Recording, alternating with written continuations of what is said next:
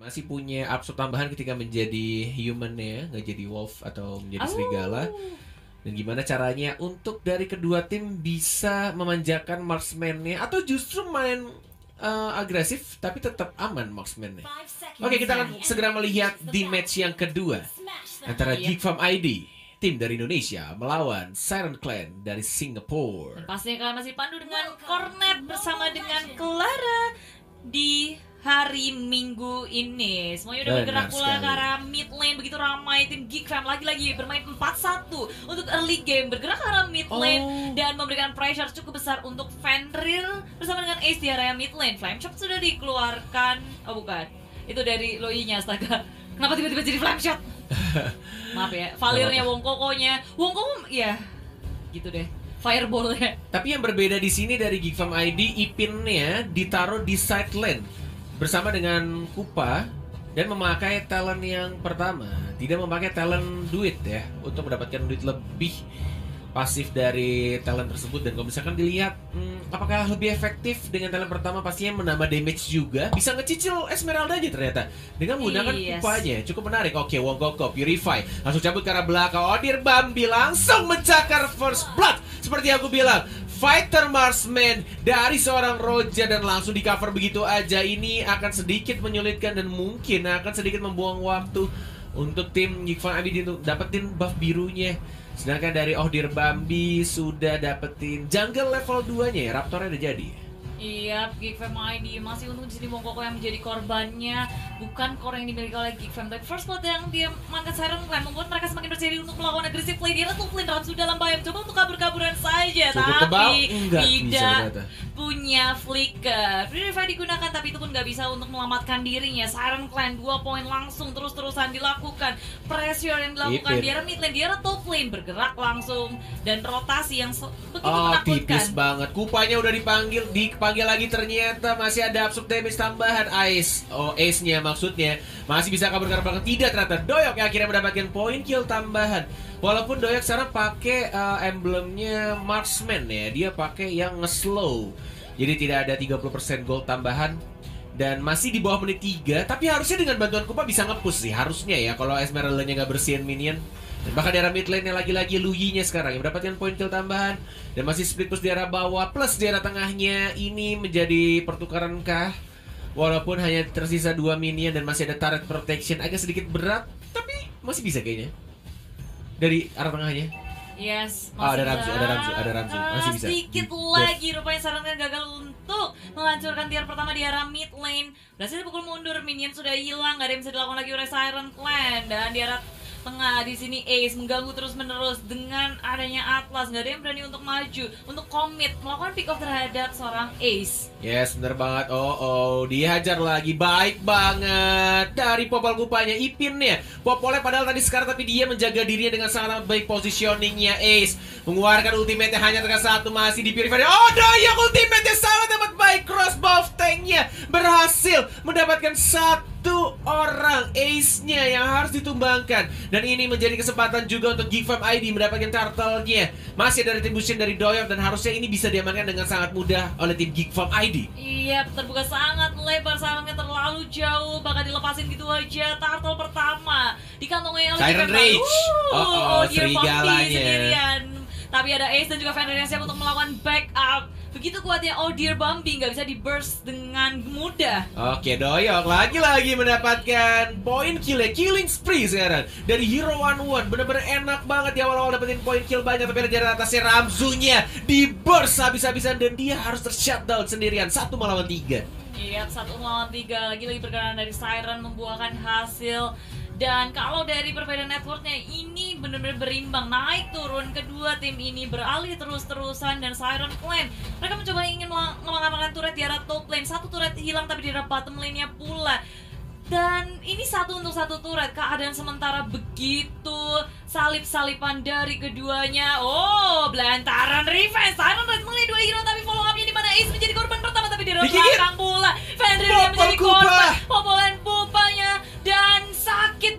sini Geek Fam ID mereka udah siap untuk berperang di area mid lane tiga hero mencoba untuk mendefense di area turret pertama Falling untuk mendapatkan siapa pun di arah belakang tapi di arah depan Thomas NB berhasil untuk membersihkan semua minion yang ada. Wah, Wong Koko benar-benar baik banget menggunakan burst fireball-nya. Benar-benar gak ada cooldown sama sekali dan selalu nge-stun dan bahkan nge-burst abis-abisan pemain dari Siren Clan. Iya, Piara mid lane sudah hancur bergerak lagi ke arah top lane. Kali ini Ramzu berhadapan dengan Thomas and Beef.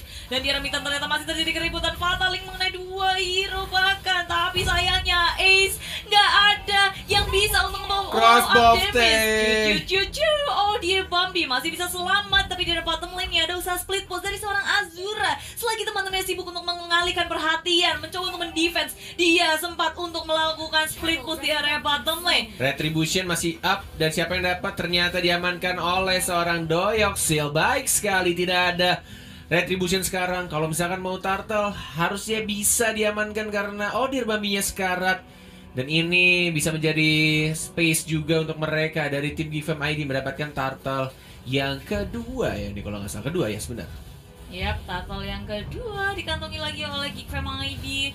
Mereka berhasil mengamankan Ada area tapi. turtle dengan cukup Telat mudah. ya? Oh terkena trap.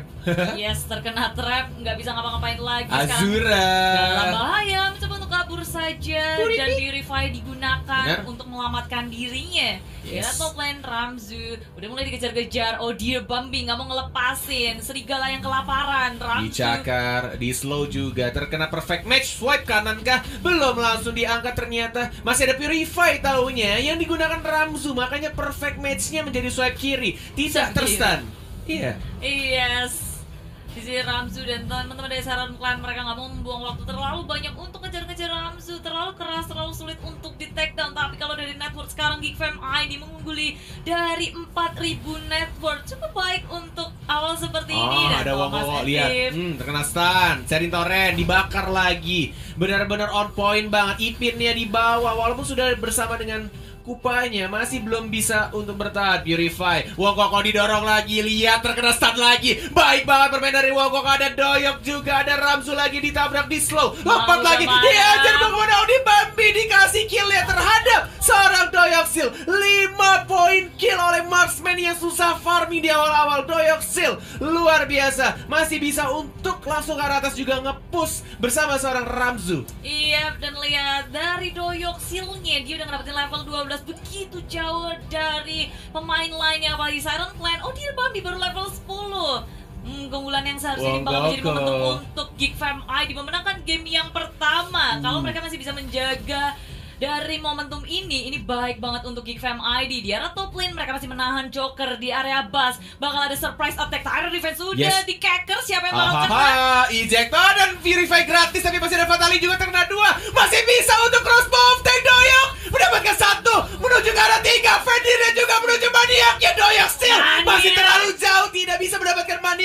Doyok still terjebak. Mencoba untuk diamankan Tapi nggak berhasil lompat. Tapi Doyok oh, oh ditebein sama Joker.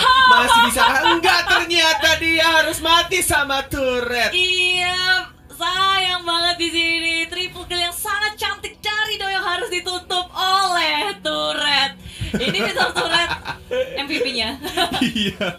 Padahal tadi udah ditebein sama ini ya? Dia nggak ngehit, Joker. nggak ngehit turretnya kayaknya. Apa kayaknya kecepatan doyok duluan yang kena tadi yang Iya, jalan ya? Mungkin ya, nggak nggak ada di area turretnya kayaknya. Peciu, peciu, peciu, peciu. Itu kalau nggak ada purify maniak sih.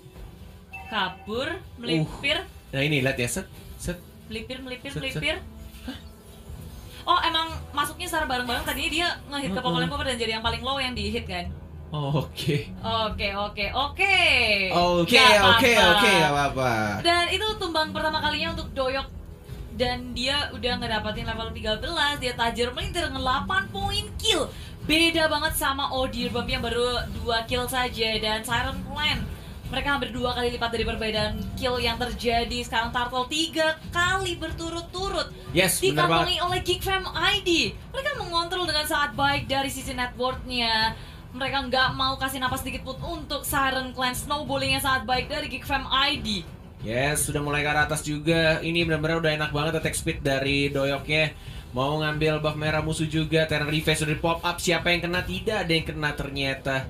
dan masih mencoba untuk menjaga lane-nya agar terpush dan bisa menguasai atau bisa dibilang map control ya dari tim Geek Farm ID menuju Lord yang pertama di 80 detik lagi. Yes. Ini itemnya udah apa aja ya ini? DHS bikin Dia just Cor- ada, corrosion- ada, ada tiga kan? Turtle corrosion Shield. set kah? Bikin kan corrosion Oke. set, DHS, mau langsung BOD. Ini bakal enak banget. Plus sepatu untuk attack speednya. Ini udah benar-benar bakal menyakitkan sih. Dia udah punya DHS, attack speednya juga udah mulai penuh. Kalau dia dapat crossbow tanknya, Doyok sih bisa savage. Iya, dan dia udah ngedapetin level 15 level maksimal, network juga udah paling tajir. Dikit lagi dia udah jadi satu item lagi tambahan.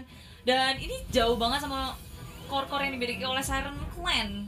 Jauh banget sih. Enak banget dari Gifem ID, usaha pergerakan mereka sekarang membuahkan hasil terus-menerus dan bersembunyi di dalam bus. Mau nge-HBD-in Siren Clan, tapi teman-teman dari Siren Clan pun begitu hati-hati mereka nggak mau terlalu jauh, terlalu offside menjaga satu sama lain, tapi ada Jawhead yang kesasar kayaknya sendirian langsung dilihat begitu saja dan Ejector miss. Oh, oh, Oh. lihat tuh damage-nya. Hanya 3 atau 4 hit saja dari Doyok.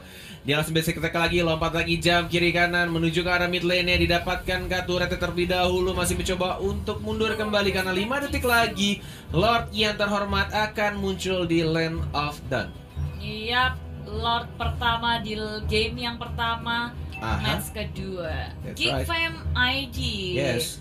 Sekarang udah berada di atas awan dengan perbedaan network sampai dengan 7000 Tapi yang paling signifikan adalah perkembangan dari Doyok yang begitu bebas. Gak ada yang bisa menangkap Doyok Dia bergerak ke mana pun melenggang ke kanan ke kiri Tanpa ada yang bisa nge-mirroring sama sekali Yes, Rotasi yang sangat cepat dari Doyo sekarang dia udah mulai ke arah jungle mix Siren Clan maju. Oh, lihat nih enak banget ya apakah bisa savage masih mencoba untuk mencari weakness point-nya. Sudah mulai ke pop up dua menuju ke arah tiga pasti banget triple kill menuju maniaknya nggak nyampe kah?